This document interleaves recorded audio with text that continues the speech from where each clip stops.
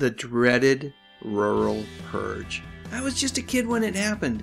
I didn't even know about it until years later. It was really quite an audacious move if you think about it. You've got to hand it to CBS for having the sheer wherewithal to follow through with their decision. Some say that the network was just playing catch up and had to do it. Truthfully, I'm not sure. So, anyway, for those of you who don't know what I'm talking about, according to Wikipedia, the Rural Purge was a series of cancellations of still very popular rural themed TV shows, the majority of which occurred at the end of the 1970 71 television season.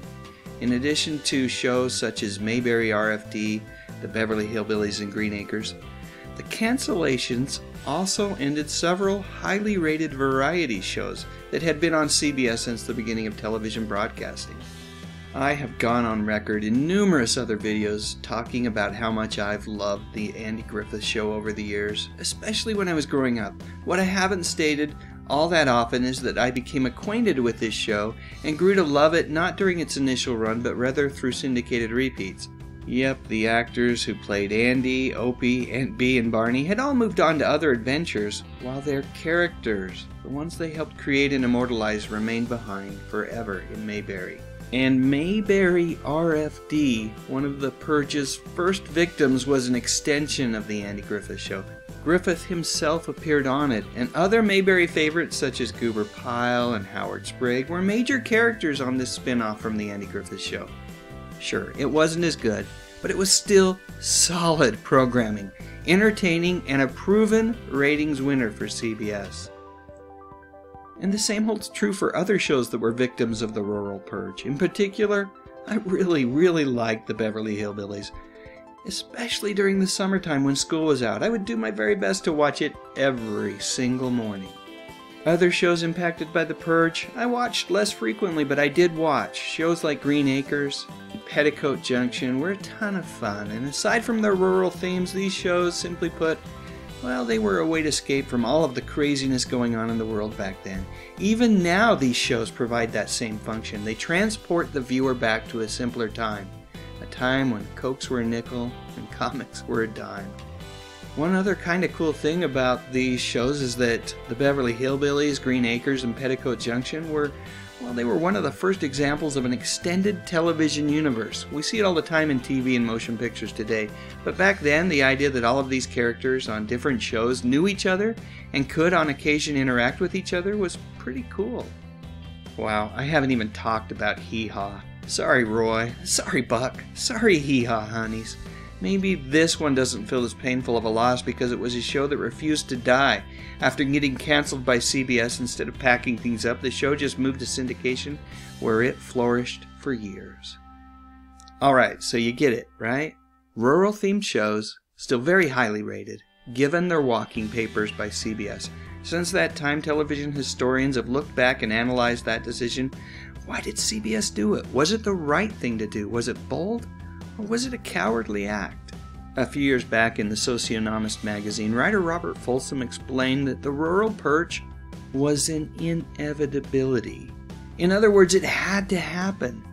The deeply negative social mood within the U.S. could not be contained or ignored, and CBS's light-hearted rural programming, as popular as it was, just seemed out of place. As such, actor Pat Buttram, the guy who played Mr. Haney on Green Acres, said it best when he described 1971 as the year that CBS killed everything with a tree in it. And part of me thinks that maybe CBS was onto something. Those were hectic, volatile times, and for good or bad, a lot of the network's programming existed in a world that was oblivious, blissfully unaware of what was happening in the real world. It was part of those shows' charms. But looking back, I guess it was also a curse. And let's not forget that the US had recently won the space race and finally put a man on the moon. For a time at least, it seemed like technology would be our savior, providing a path to a better life. At least that was what we all hoped for back then. Now I think we can look back and realize that there are both pros and cons to all of the amazing technological advances of the past few decades, but back then, It all seemed like peaches and cream. Nothing bad could come from these technological advances.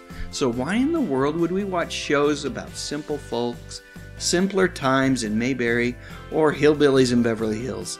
I'm sure these are the things that CBS network executive Fred Silverman said to his colleagues oh so many years ago.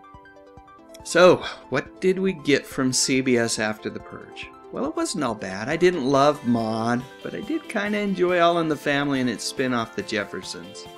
And I really grew to love MASH. Sure, that final episode wasn't the greatest, but for 11 seasons, MASH really was a great TV show that probably wouldn't have happened if not for the rural purge. That said, you can't beat those darn hillbillies Irene Ryan, Donna Douglas, and Max Baer. Even though he isn't pictured here, good old Buddy Ebsen, were just the best. And part of me shakes my head wondering why the two types of programming simply couldn't coexist. Why couldn't we have had a couple more seasons of hillbilly shenanigans and maybe even a little more Mayberry RFD along with All in the Family and eventually MASH? I just don't get it. I really don't.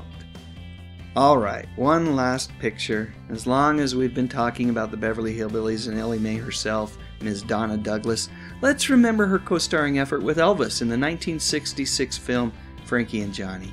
Man, I really love those old Elvis movies, and this one, well, it's no exception. Now it's your turn. Tell me what you think about the rural purge. Was it courage? or a cowardly move on the part of CBS. Please share your memories in the comments section, and while you're at it, I would love a thumbs up if you enjoyed this video and be absolutely honored if you would consider subscribing to my channel. I talk about music, movies, and television, mostly from the 50s, 60s, 70s, and 80s. You know the good stuff. But most importantly, and as always, thank you so much for watching.